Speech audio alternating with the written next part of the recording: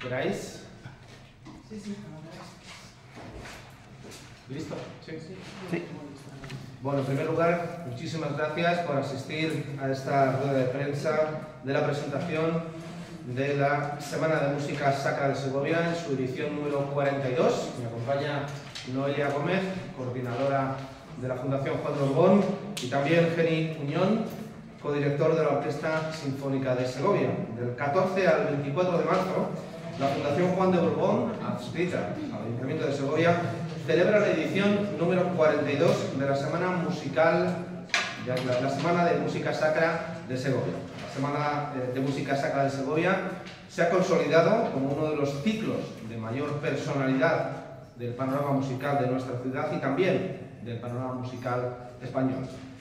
Será Noelia, la directora de la Fundación Juan de Borbón, quien detalle el programa de la Semana de Música Sacra, aunque sí querría destacar la participación segoviana en su apertura a cargo de la Orquesta Sinfónica de Segovia, que estará acompañada de otra agrupación musical de nuestra ciudad, la Coral Ágora. Este inicio de Semana de Música Sacra también es el inicio de la participación de la Orquesta Sinfónica de Segovia como parte integrada en la actividad de la Fundación Don Juan de Borbón, que desde el Ayuntamiento de Segovia hemos impulsado con el objetivo de ofrecer una mayor y mejor oferta de calidad musical a la ciudadanía y sobre todo una oferta más amplia y rica en cuanto a contenidos.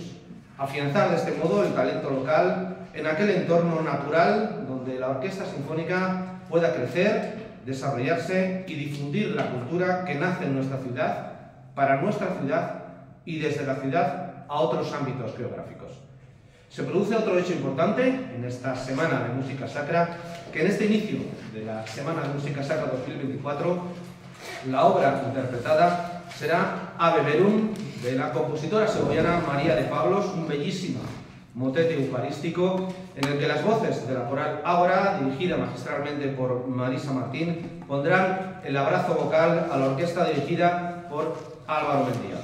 Serán 10 días de marzo repletos de incuestionable calidad musical propia de las fechas religiosas y con espacios tan magníficos y significativos como la iglesia desacralizada de San Juan de los Caballeros, la catedral o el campus María Zambrano, acercando así la música al entorno universitario de nuestra ciudad. Además de la música, también habrá otra serie de actividades para todos los públicos y muy relacionadas estrechamente con la actividad musical de nuestra ciudad y la actividad que organiza magistralmente también Noelia, a quien cedo la palabra, para que detalle puntualmente todos los actos que van a tener lugar en estos magníficos días del mes de marzo.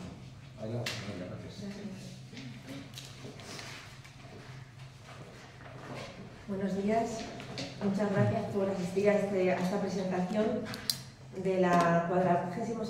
Semana de Música Sacra de Segovia. Gracias, eh, concejal de Cultura Juan Carlos, y gracias, Geni, por acompañarme hoy aquí en esta presentación que, bueno, efectivamente es una presentación eh, en la que estamos muy contentos en la Fundación de poder integrar a la Orquesta Sinfónica de Segovia, ahora sí, de una manera ya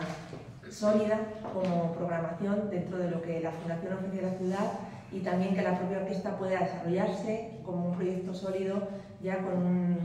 con, un presupuesto para la orquesta y con una, con una realidad que es poderla integrar eh, pues en una temporada de conciertos que se irá diseñando, que se irá presentando y que arranca con algo que nos parece un hito y que era importante pues eh, conjugar estas dos cosas, el inicio de la orquesta de Segovia de esta manera organizada y, junto con el hecho de que hay dos obras de María de Pablos que se van a estrenar. Una de ellas se va a estrenar eh, con toda seguridad, que es La Cabrerilla, que es la última obra que conocemos de María de Pablos, que escribió en 1934 y es para coro solo y está la, la Ágora con Marisa Martín como directora. Pero luego tenemos el de Verum, que es una de las obras con las que ella consiguió el premio de composición en el Real Conservatorio Superior de Música de Madrid Em, junto con el poema Sinfónico Castilla. Y este Ave que es para coro, orquesta y órgano, es el que interpretarán, arrancando el concierto la orquesta, que creemos que puede ser la primera vez que se interprete, aunque también, como se hizo en el Conservatorio de Madrid, que consiguió un premio, es posible que se interpretara una vez en el Conservatorio, el año que ella lo compuso en 1927, pero no tenemos más datos que eso. Así que bueno, creemos que evidentemente esto es un hito a nivel, a nivel nacional eh, para la música de nuestro país y, y, es un honor poderlo hacer en Segovia y con la orquesta de la ciudad. Después, bueno, este arranque va a ser el 15 de marzo, que será el viernes 15 de marzo a las 8 y media de la tarde en el Ágora de la, de la Universidad de, de la UBA. El día, a la semana siguiente, el miércoles 20, vamos a arrancar después toda una semana de conciertos con un recital de piano de la pianista ruso-española Mariana Krasnaya. Ella bueno, es una pianista que ha actuado con muchas orquestas por todo el mundo, en Estados Unidos con varias de ellas, en Corea, eh, aquí también con la Orquesta Sinfónica de Galicia, y es una pianista que ganó el Premio, Nacional de, el Premio Internacional de Piano de Jaén, que es uno de los premios más importantes que hay en nuestro país de piano, junto con muchos otros por, por todo el mundo. Nos trae una propuesta que se llama Caminos Sagrados y bueno, con ella vamos a pasear por distintas eh, ideas sobre la espiritualidad de compositores de distintas épocas. Tiene que estar Johann Sebastian Bach, como no podía ser de otra manera, y a partir de ahí va a arrancar hacia músicas rusas, también de Estados Unidos del siglo XX, eh, románticos alemanes del siglo XIX, y a partir de ahí trazaremos con ella caminos sagrados en la iglesia de San Juan de los Caballeros, como decía, el viernes 20 a las 8 de la tarde. Al día siguiente nos visita la Hostil, que ya eh, empieza a hacer tradición, afortunadamente, la Semana de Música Sacra de Segovia recibirá a nuestra orquesta de la región, la Orquesta de Castilla y León, y vienen acompañando a Werner Dürer, que es uno de los tenores, pues es uno de los grandes tenores que hay en Europa ahora mismo. Él, bueno, es un tenor que mm, nació, nació en Múnich y ha estado en las óperas de Semper de Dresde, en la ópera de Zúrich, la de París, en el Teatro Felice de, de, Génova y en muchos otros lugares de toda Europa, también de todo el mundo. Y bueno, será, un, será pues todo un acontecimiento poder recibirle en Segovia el 21 de marzo para interpretar el viaje de invierno de Schubert en la versión de Hans Sender y acompañado por la Hostil. Los dirigirá Jordi Francés, que también es un gran director de nuestro país, que ha estrenado más de 80 obras en lo que lleva de carrera y bueno, ellos también actuarán en, el campus de la Universidad María Zambrano, en el auditorio en este caso. Esto será el 21 de marzo, como decía antes. El 22 nos volvemos a trasladar a la iglesia de San Juan de los Caballeros, donde nos espera música sefardí. Ya saben que la Semana de Música Sacra de Segovia es un ciclo que abraza también otros tipos de música, no nada más la, música mm, católica, la música cristiana, eh, también otros tipos de religiones y de ideas, de sacralidades, de espiritualidades. Y este año tenemos música sefardí y danza con el grupo Durme, que vendrá a San Juan de los Caballeros con unas recuperaciones de música antigua, de música antigua sefardí, que además está, tiene muchos tintes de jazz eh, y mucha innovación. Así que será un concierto muy ecléctico, donde hay mucha mezcolanza de, de, de culturas árabes judía y cristiana, junto con, desde, desde, miradas desde la óptica del jazz. Después, el día 23, cerramos los conciertos con el Coro Victoria, que dirige Ana Fernández Vega, también una directora segoviana, por cierto, que ya está ejerciendo su carrera en Madrid, es la directora del Coro de Jóvenes de la Comunidad de Madrid y de este coro profesional, del Coro Victoria. Van a hacer una misa de Tomás Luis de Victoria, que es uno de los grandes eh, compositores del Renacimiento español, el abulense Tomás Luis de Victoria, una misa a dos órganos. Tendremos al, coro, en el, en el, coro de la catedral, con los dos órganos para los cuales además contamos nada más y nada menos que con Silvia Márquez Chulilla, que es una de las organistas pues, referentes de nuestro país, con Alberto Martínez Molina, con ellos dos a los órganos. Y ese concierto, pues claro, será en la catedral. Y como comentaba antes también eh, el concejal de Cultura, en la Semana de Música Sacra incluimos otras actividades eh, además de los conciertos. Vamos a arrancar el 14 de marzo con una conferencia muy interesante sobre las sargas de Semana Santa que hay en muchas iglesias de, de nuestra provincia, con una conferencia que se llama Monumento y Sarga de Semana Santa, ritual visual y sonoro. Sonoro porque también le acompañarán matracas, carracas y todos esos ruidos que no se podían llamar música, que se utilizaban en la Semana Santa para entrar antiguamente en nuestra, región en ese, en ese estado de, de completa autoridad y de luto. Y después, el día 14 y 15, el mismo día 14 y también el 15, tenemos también una actividad para niños, porque vamos a, presentarles los órganos, junto con la Asociación Correa de Araujo, los órganos de la catedral, van a poder verlos por dentro, que no llegan a ser apartamentos, pero casi, y es muy interesante para los niños poder ver todo el mecanismo interior de un órgano y los órganos que tenemos en la catedral son patrimonio histórico muy importante que preservar y es importante también que las nuevas generaciones los conozcan, los valoren y, puedan acercarse a ellos. Así que haremos esas visitas para los colegios. Y después tenemos una última actividad también eh, complementaria, que es un recorrido alquímico por el Romeral de San Marcos, con una guía, que será Teresa Conillera, con otra forma de percibir los sonidos de la naturaleza a través de la meditación. Esto será dos domingos a las 11 de la mañana, el 17 y 24 de marzo, y bueno, con eso cerraríamos las actividades de una semana que, con la que invitamos a reflexionar desde hace años al espectador sobre la espiritualidad, en una visión contemporánea de la sacralidad y también abrazando otras culturas, no solamente la que nos corresponde, pero sí también la nuestra, protegiéndola, divulgándola a través, pues como comentaba, visitas escolares, patrimonio que recuperamos, como el de María de Pablos, como la misa de Tomás, Luis de Victoria, eh, repertorio que mucho tiempo es verdad que pertenecía a la Iglesia y que era la que lo financiaba, la que lo promovía y que ahora a nosotros nos corresponde eh, seguir incentivando su escucha y disfrutando de su belleza y de todo el valor estético que tiene y que nos caracteriza como cultura también. Todo esto tiene, bueno, hay una venta de entradas que empieza hoy mismo. Em, las entradas son muy económicas, de 6 a 12 euros. Mm, hay un descuento del 50%, como acostumbramos, para jóvenes menores de 25 años y personas en situación de desempleo. Y bueno, pues se pueden adquirir en la web de la Fundación, en el Centro de Recepción de Visitantes de Turismo, por el teléfono, en, las taquillas. Y bueno, pues bienvenidos a la Semana Sacra. Les voy a dejar con Jenny Muñoz, que agradecemos muchísimo que hoy nos haya acompañado, que ha venido desde Madrid para hacer hoy esta rueda de prensa con nosotros. Y gracias, Jenny, por participar y por estar con nosotros trabajando en la Fundación con la orquesta. Y bienvenido. Hola, ¿qué tal? Gracias por venir, buenos días.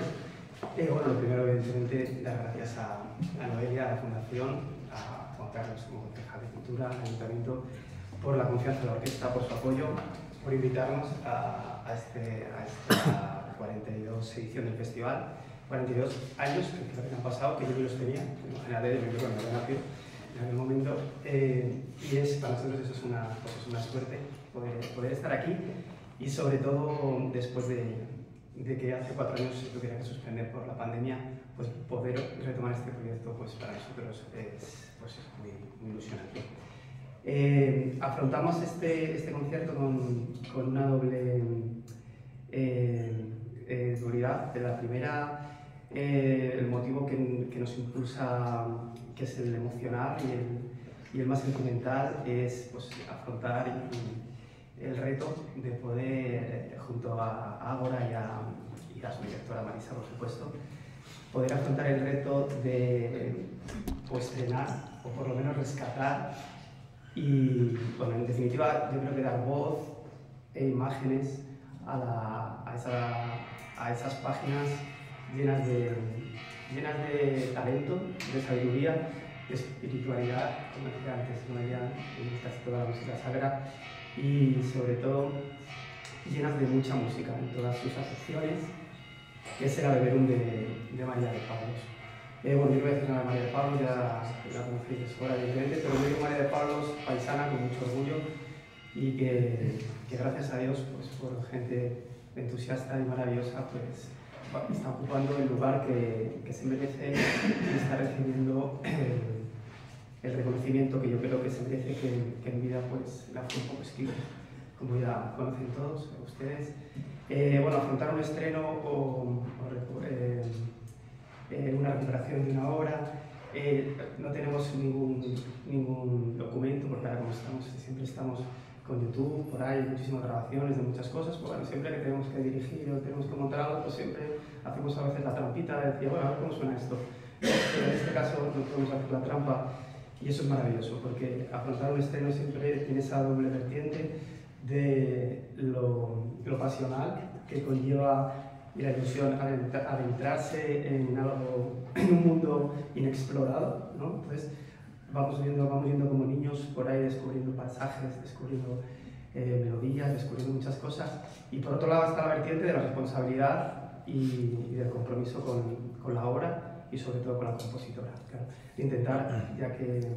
no se ha oído desde hace posiblemente, creo que es cuando tenía 23 años, ella era su primera obra, de las primeras obras de juventud, pues se han pasado casi 100 años aproximadamente, yo creo. Eh, pues eso, pues se hace una versión que, pues intentar que la versión sea lo mejor, lo más eh, que se parezca y se acerque a la estética y a, la esencia de la compositora y, del estilo musical. Entonces nada, hemos puesto y pondremos junto a ahora toda la ilusión, toda la profesionalidad y todo el cariño para que de sea un momento muy especial para, para todos nosotros, para todos los segovianos y allá donde esté, que seguro que nos escucha María de Pablos, porque sabemos que la música trasciende más allá de la razón y llega a sitios donde, donde nosotros no, la imaginación o la mente no, no nos alcanza. Ojalá donde esté pues, nos guste también. Y, y, por el otro lado, un motivo especial, pues especial afrontar este concierto con motivos especial, especiales es por, como decía eh, María y Juan Carlos, por el apoyo que, que, que, a partir de ahora, bueno, tengo que decir que la orquesta lleva ocho años funcionando, dio sus primeros pasos ya allá en, en el 2016, 2015, y bueno, hemos, hemos sido, que estemos aquí también es, es, sintomático de que hemos tenido apoyo, porque si no, evidentemente la orquesta no habría podido mantenerse. Agradecidos a, a, todas las instituciones que nos han ido apoyando, como el gobierno, ayuntamiento, diputación, los diferentes proyectos, a Sociedad Filarmónica por, por invitarnos a los conciertos de Año Nuevo, que bueno, para nosotros es especial, son conciertos de visibilidad para la orquesta, visibilidad de músicos colombianos, y, y, creo que también es, es, muy importante. Y ahora en este punto en el que estamos, pues evidentemente agradecidísimos dar las gracias reiteradas al apoyo del ayuntamiento, del concejal, de, del alcalde, de Noelia con la fundación asumiendo, asumiendo también el timón de, de, la orquesta y del proyecto, porque creo que bueno, la orquesta, es un, es un proyecto grande, es ambicioso, implica mucha gente, pero creo que para una ciudad como Segovia y una provincia como Segovia, evidentemente, es necesario y yo creo que es muy, que es muy bueno y es, es, productivo tener, tener la, la, orquesta en Segovia, que sea una orquesta de los segovianos, una orquesta para los segovianos, que la gente que Segovia la sienta suya, que sea, que sea útil y, y que disfrutemos con ella, evidentemente, y, y que este sea otro paso más después de, este camino que hemos dado, otro paso más, pero que sea, yo creo que, bueno, quiere, va a ser, bueno, vamos a ser eh, un paso sólido, un paso con, con el primer paso de muchos pasos y como decía día de la consolidación y de estabilización de la, de la Orquesta Sinfónica de Segovia. Y, y bueno, nada más el programa que vamos a realizar, eh, bueno, lo ha hecho Noelia, lo dijo también Juan Carlos, vertebra el ave de María de Pablos. Eh, y bueno, hay otra, es un programa variado que va desde, desde el ave de Mozart, que también es, como algo muy bonito, ¿no? que de repente compartan, compartan programa eh, María de Pablos y Mozart con sus ave verum, ¿no? Seguro que, que Mozart eh, fue inspirador de, como gran compositor que ha sido de, de nuestra, de nuestra compatriota, no, de, de de nuestra paisana María. Eh, eh, como decía, es un programa variado, eh, hay partes de coro solo, partes de orquesta solo, partes de coro y orquesta. Entonces yo creo que va a ser bueno, es un programa que se ha pensado para que sea menos, dentro siempre del marco de la espiritualidad, de, de, del concepto de música sacra, pero que va, como decía, desde Mozart, va hasta Bill Williams, por ejemplo, va hasta Jenkins con su, con su concierto, con su Requiem para la paz, Misa para la paz. Hacemos dos números, uno de Pero él lo hizo en el 2000, eh,